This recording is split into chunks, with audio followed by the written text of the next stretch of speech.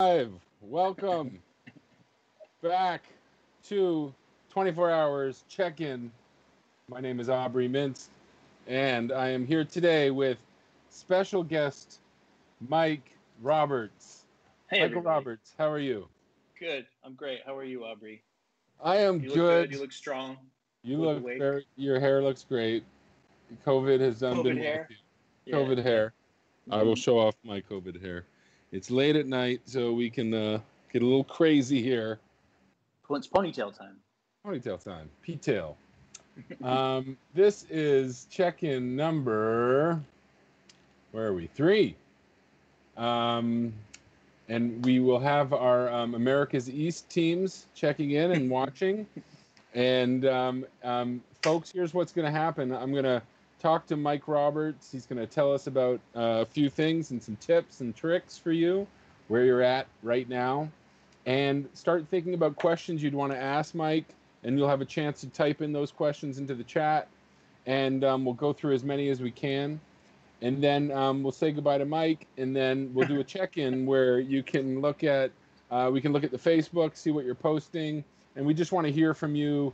Make sure you're still around and doing okay, and uh, um, we just we wish you all well. So here we go with Mike Roberts. Mike is a classically trained animation director and storyboard artist who has worked in Toronto, New York, London, before settling down to Los Angeles, where he currently lives.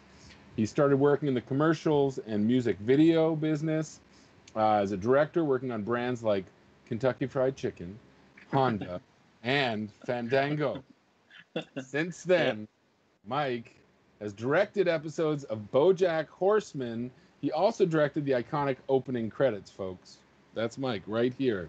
Um, he directed uh, F is for Family and TripTank. Recently, Mike has directed several animated pilots and serves as supervising director for the comedic animated space opera series Final Space on TBS. He is also the creator of the John Cena Kat Dennings YouTube TV premium animated comedy series Dallas and Robo. Welcome, Mike, John, Hey, everybody. I only did season one of Final Space. My friend, uh, my good friend and talented guy Ben Jack took over on season two and three, so he's doing the better seasons. I just did the one that I ruined the first season. you did the original. You were the pioneer. that was a fun show to make. well, you're a fun guy, and to what we're going to do here, and I meant mushroom. And what we're going to do here, Mushrooms poster right behind me. Never mind. Sorry. Okay. we're going on a Canadian tangent. Mike is Canadian, Canadian. tangent. and uh, as I am. Um, so, um, folks, it is now uh, 11 p.m. on our side of the world, and you are now, what is that, four, seven hours? You're seven hours in, and uh, boy, I know you're tired and you're starting to feel it. Hopefully, everyone has an idea that they're pretty solid with at this point. Maybe you're doing some, some like you know last minute adjustments, but hopefully you've seen an animatic. You see the timing of your film a little bit, and you're starting to design a little bit. Hopefully, production design backgrounds maybe have been started. Maybe even animation tests. I don't know. It's crazy. But um, what we're going to talk to Mike about is how you should think right now about being smart with your decisions about how to go forward, knowing that you're going to get more and more tired. So, Michael, Oh, so we're starting animating. That sounds. That's awesome. some are probably starting animating. What? Okay, if you were in a team right now Yeah. and you had you feel pretty good about your story Uh-huh. and um, you're starting to think about designs and you already have people that can start animating how would you start tackling say a scene right now like would you go for the meaty scene a light scene or what what do you think Well, that's a yeah. You have to keep your momentum up, right? So I would say like you have to have a plan for the hard stuff. Like know you're gonna get through it. If you leave that till the end, you can all. It's it's like pick the things that you know you won't hate yourself for doing at the end. So if there's some big epic thing that's gonna take a lot of energy and a lot of momentum, get that out of the way first. But I would say even before that, especially if you're just starting animating, now's the time to make sure that your poses are strong in the animatic. So like when you're looking at your animatic, it should feel like you're hitting all your keyframes, um, or at least the important moments. You know, it depends on the style, obviously. Like everybody's doing completely different style. If you're doing stop motion, you don't have to worry so much about the drawings, but you'd really feel like you can watch the animatic and feel like you got a plan because there's going to be a point where you're on ro- you're on remote control. It's just autopilot. So the better your animatic is, the better the timing is, the better the poses is, the more you're going to be at you know tomorrow at this time like just like getting through it. If the animatic's strong, then you know you have a roadmap. So if there's parts of it where you're like, I'm not sure if this is working, now's the time to get it working when your brain still works. Yeah, because ultimately you could have like a really really nice animatic that you could actually hand in as your finished film, yep. right? Yep. So it's absolutely like, better to see a half finished animatic than bad animation. Right. Exactly. Um, and what about production design? What kind of advice you, would you give for that? Well, it, yeah, that's a good one because like you always, uh, you know, in, it's it's a hundred percent across the board. Like the reason, maybe everyone knows this already, but the reason animation is getting more complex is because the tools are making it easier. So you have to pick a, I mean, for TV and whatever, but you have to pick a medium or a look that you can pull off. So if if you want to classically animate this thing, simple characters, as simple simple as possible. If you're going to do 3D, what can what style can you build really quickly. You know, um, I'd again, I'd rather see a funny short about two cubes shaking back and forth than like an overwrought CG that's just one model and no backgrounds and doesn't have good story. You know, like it's like uh, early Pixar shorts. You know, is is yeah. doable in this time frame given the tools we have now. Um, but if it's drawing, like if you're going to do motion graphics, any of that stuff, just simple, again, stuff that's not going to kill you to do when you're at the 75% mark and half asleep? What can you keep doing once you're run out of gas? Yeah, and I guess it's also know your strengths as well. So if you know that you're a pretty decent animator and you're comfortable with the scene when you're super tired, it's fine. But if you're trying out new things, probably better to get them started sooner. yeah, I would say don't try anything you haven't at least tried before. And and that's you know this is the time to experiment, but it's not the time to like pick up a new piece of software. Right. Zero. Don't do that. I say this as someone who like taught themselves use Blender like starting in April, so like I can't really say anything. I'm the worst for like I think I'll do a shot for a job that's due next week in a new piece of software, so I really shouldn't talk. Yeah, you're you're good at that. You know, the the work that I see you do, you kind of like I'm gonna try this, and then you know a day a day later, it's like this phenomenal thing, as if you've been doing it forever. So you know, there's sweating, pro- looking for YouTube tutorials. but there's probably people out there, you know, in this contest that can handle that kind of stuff. But you know, as we get into the 12th, 13th hour, you start to go slow. No, that's right. It's planning for the end. Don't you're you're fine now. It's the illusion of of uh, the illusion of ability right now. This is the right. salad days. And you've judged uh, these films before, so you see kind of the range of stuff. Can you say anything Spring about versus um, marathon, Spring versus marathon? Oh, she said sprint versus marathon. I totally agree. Yes, sprint. Um, can you tell us anything about like the films that you felt were more successful and the ingredients they might have had? Well, there's a lot of. Okay, I'll, I'll start with the positive. The funny ones always, always, always, always are the best, and they don't have to be like hilarious, but they have to like think of like um, funny in like a Wes Anderson kind of way. You know, it can be like ironic, something with a light tone. You know, like Guardians of the Galaxy beats Justice League. You know, it's the it's the like it's the the things that are buoyant make you want to watch, and even when they're so short, like thirty seconds is a hundred years if it's not if it's not funny, if it's not buoyant. So I would avoid melodrama, anything that feels maudlin. You know what I mean? Like if we're gonna like do a deep dive into the explorations of themes of death and you know, existential dread might be something that you also get a little tired of in the 13th hour. The theme um, is the theme is about the pandemic, so it will it may have some tones. But if you can't find comedy in this absurd world that we are living in, then you are not enjoying yourself. I don't mind. I don't mind intensity. I don't mind drama. It just it has to be alive. You know, it can't be. You know, maudlin, right? Like the difference between drama and maudlin. What's yeah. the what's sub maudlin is the like over the top, hard to take drama. Anyway, what's the one that's good? The one that's yeah, good. Do the one that's good. It could be poignant. I think. I think there could be poignant some poignancy. Yeah. Like you know, I'm thinking about some of the winners from the last couple of years. Not all of them were comedy. Like I think there were some true, that that struck a chord, um, but they weren't overly complicated. You know, like I Yeah. think there was some that were just had a strong image, like a strong tone or strong emotion to Mhm. them, um, and maybe they look cool too. But um, yeah, yeah, no, that's I- true. Yeah. I, I should. I, I'll clear it up then. I should say that it should have a strong theme that that's sort of like a, a, an idea for the audience to glom onto. Like if there's no theme, if there's no idea, then just forget it. It's just you know like it has to be something that resonates. I guess that's why they say write what you know, right? It should be something that uh, something that means something to you. Shouldn't you shouldn't be tugging at the heartstrings. It should be uh, expressing yourself. Right. Well, that that would be weird in some in some definitions of that term. But what we're trying to get at, what we're trying to get at here is, um, so you know, the fact that this is about the pandemic, and you were saying, you know, really express how you feel and your experience of it, as opposed to trying to tell what you think the experience is. Um, yeah. I think the good thing is that everyone's in different areas and different regions around the world, so everyone really did have a different experience of this pandemic. Sure. Yeah. Yeah. So I'm really interested to see what their you know their realities are. what was that? I saw someone was saying it's hard to be funny during the pandemic. I'm like that's that's very true. Oh, they, oh, this is from the chat. Yeah, I think to- so. Is that what you're is that you're writing up there, Christina? Yeah, yeah, That that was one of the students wrote that. yeah. hmm I agree. Yeah, well, but that's the thing. Like, I mean, you know, I I have a really dark sense of humor, you know, and sometimes maybe maybe that's why I try to bring up the Wes Anderson of it all. Like his movies aren't comedies all the time, you know, but there is always like a wink. There's always like a smirk, you know.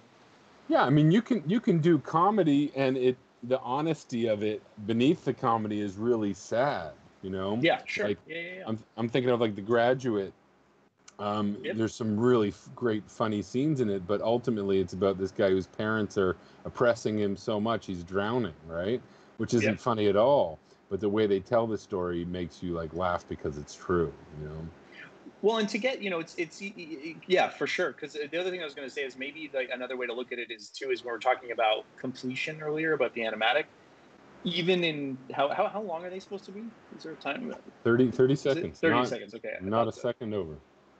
So even in 30 seconds, make sure you have some form of a act structure, like beginning, middle, end. It sounds obvious to say, but like there also is like you can sort of technically fail on one of these by having the best animation possible, the best storyboards possible, and then it's like beginning, middle, nothing. You know, like that's a it'll it'll make the best one not win to not Right. have a beginning, middle, end. Yeah. so I'd rather yeah. have a yeah. no, go ahead. Sorry. I was gonna say I'd rather have like no animation and a good soundtrack with a good story. I probably would rate higher than one that didn't even finish. You know? Right, because there were some examples that we saw in the past where the setup would, might have been so great and the animation was so great, and then it just it felt like the timer just stopped and they didn't Yep. have time to finish, and you can't you can't award it high points because you're just you Yeah. don't get the whole story. Yeah, you might as well have done a bad job. Right. So if you're going to spend so much time on the animation, the design, and all that, just make sure at this point all of your films are solid. Like you feel like there's enough time. That's that's the important thing as well because it's only 30 seconds. When that animatic plays, when it cuts, you know, even though you know the story, and you could probably hold on that end frame with your team, the judges aren't going to see the anything after that end frame. So Yeah. wherever it cuts, it cuts. You got to watch it as if you have fresh eyes. Well, it's like I mean the the biggest lesson I've learned in the in the edit suite is if it's not good in the animatic, it's not going to be good in color. It just doesn't fix anything. You know, it, it might make things. It gives you the wow. Like you'll go, you'll say, "Hey, that was great," and now I'm saying, "Wow." That's all you ever get. You never get it wasn't good and now it's better. It doesn't happen. If your animatic's not good, your movie's not good. Your show's not good. So if it should feel like your animatic's good at this point. And what about like sound and music? How much importance should they put there, and when should they start sourcing that stuff?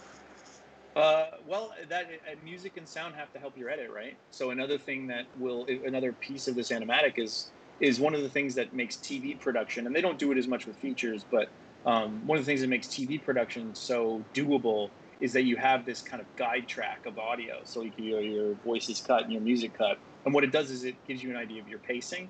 So like I think in 30 seconds, it's really smart to have an idea of some little chunk of music, not because you need the music. Like obviously you need it for tone, maybe for pacing, but the music gives you a pendulum. It gives you like a metronome.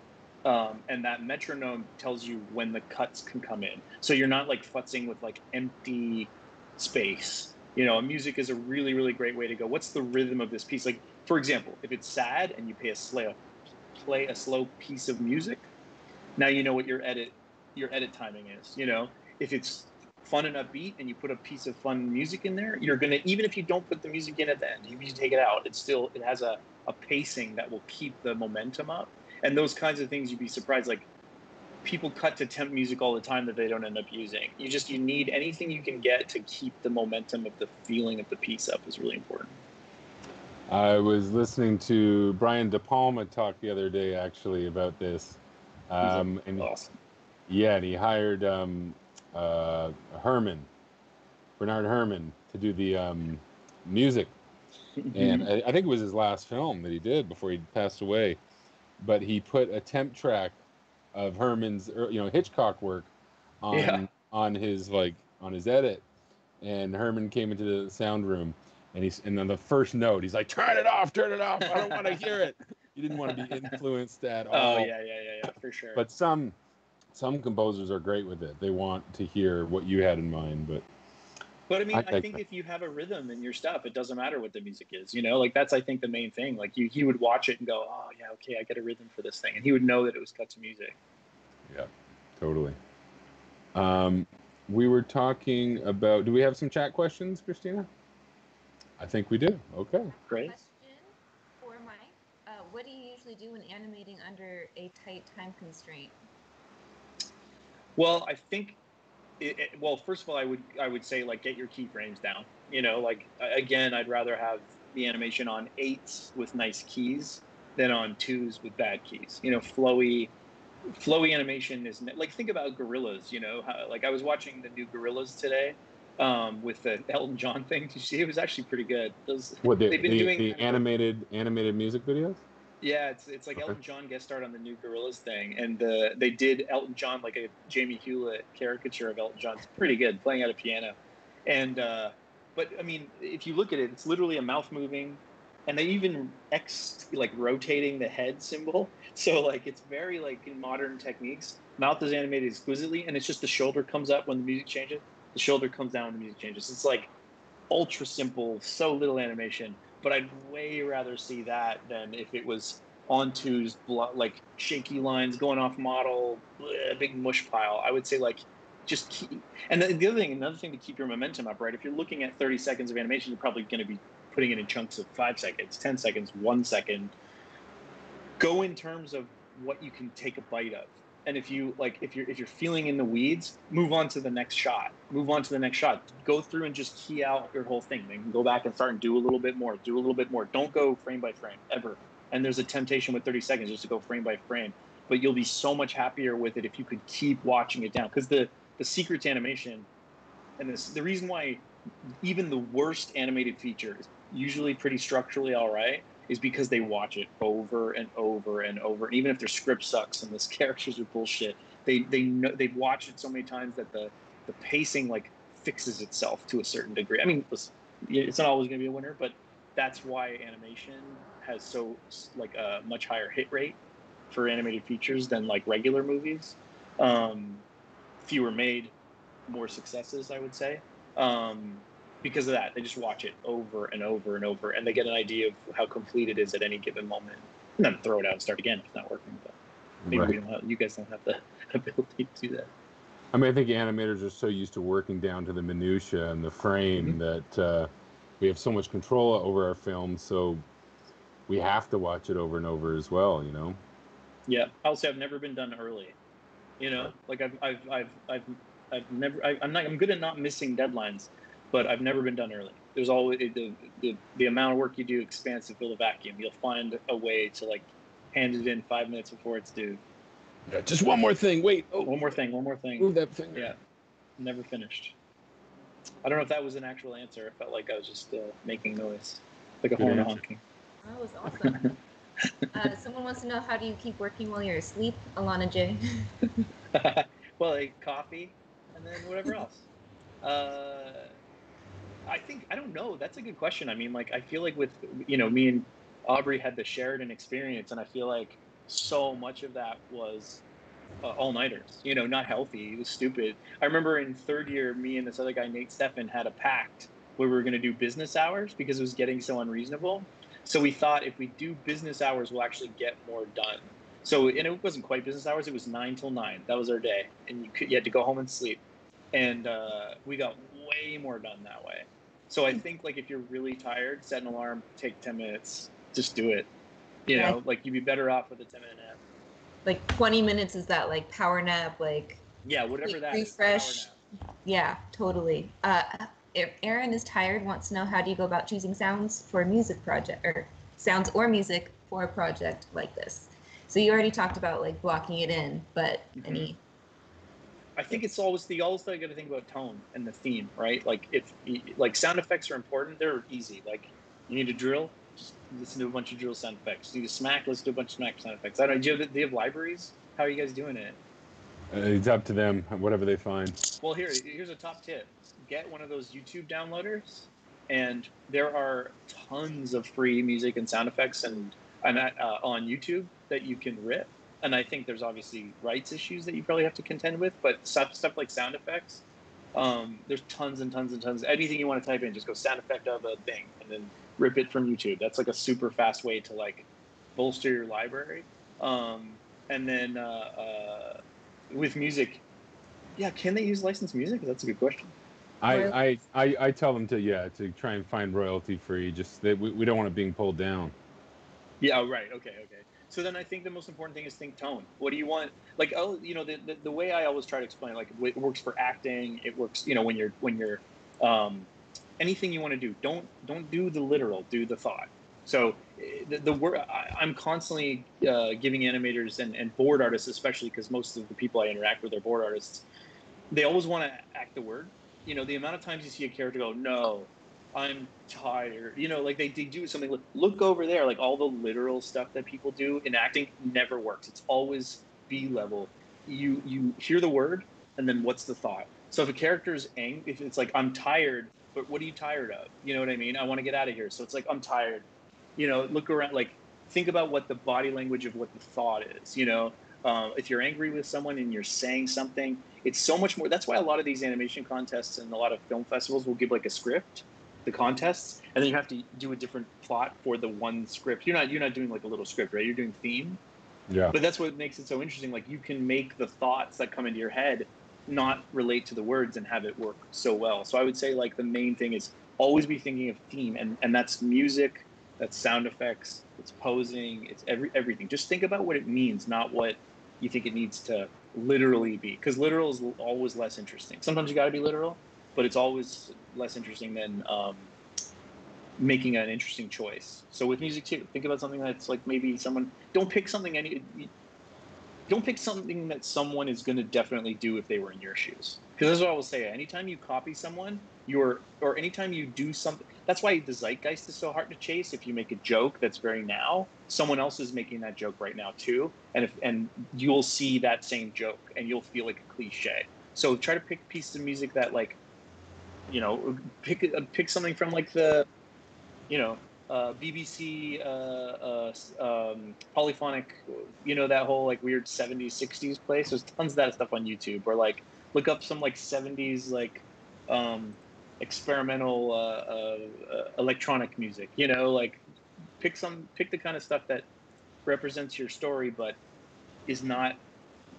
No one else is going to have. It'll, it'll inspire you to find something new.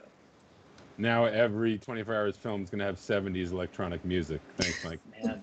There's this there's this video called Crumar that I'm obsessed with, and it's like a baby playing. It's like a baby uh, doll with like a pot on its head playing a keyboard, and it's uh, God was it Jean Jacques Perrey the artist, and it's called Crumar. Look it up. It's it, oh that's what if you need a boost and you're running out of coffee, look up Crumar like C R U M A R, and then and you- you'll see it. It's this terrifying baby toy doll face, and then that's your energy boost to get you the next 45 minutes of energy. It'll mess you up. That's great. Other other questions, Christina? Um, I don't see any other questions. We did have some Gorillaz fans of that music video. When you, Oh, uh, man, so good, about right? it, for sure. I love Gorillaz. Super cool. Uh, music and animation. Uh, we had a bunch of teams checking in. I don't know if I'm going to say names until after we tell Mike to shoo. But do you guys want to Mhm. hear about the stages that people are at right now, or? Sure. uh, I guess last call for questions in the chat, guys. Um, but let's see, going back up to the top, we have teams who are in animation production, people who are still alive, uh, animation production. Uh, let's see, lots of people checking in from all over, not just East Coast. Uh, we had some some animators make a connection on YouTube. Someone realized they were following someone else's channel.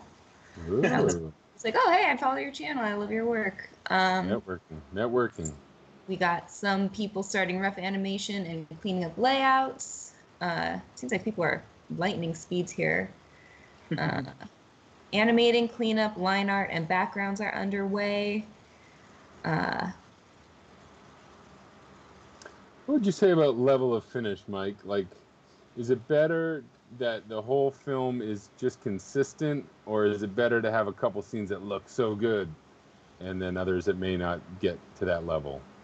I'd say like like um, that. That's what I was saying about like going back and doing passes. You know, like I'd rather see a color card in the background and and telling the story than a beautiful background if it's the only one in it. You just don't want every time you make a every time you make a choice and it doesn't seem like the right choice, you're making the audience go, "I'm not going to pay attention anymore." It's like a brain shutter offer. So if you if you come in and it's card like 30 seconds and it's blue card, green card, pink card and it just keeps showing cards, you're going to go, okay, this person's trying to tell me a story. But if you say a pink card and then a detailed background and then a blue card, you're like, wait, wait, what's happening? So I think you have to like, you have to, it has to look like all your choices are very deliberate. So that's like a bit abstract, but that's a way to think about it. You know, the more everything should look finished in the moment. And any, like, think about when you're a few hours from being done, what if someone took it away from you right now? Would they understand what it was? And if you're a few hours away and you don't understand what it is, you're probably not going to finish on time. Yeah, and it's a, a good point to add to that is if you have someone always editing, basically everything that's created you add to the reel. That way your reel, like Mike was saying, on layers is getting better and better. But Yeah. if someone pulled it away from you, you still have that reel with the latest stuff. So So you see. yes, yes, you want to make sure. And I would just keep exporting, like every couple hours, export something. That way you've got a version of your film exported as well. Yeah, that's a good point. Yeah. Did Ben say something there? I thought I didn't. I maybe Yeah, you said yeah, we had a question about how do you balance the style of the characters and the backgrounds, kind of on related to what you're just talking about.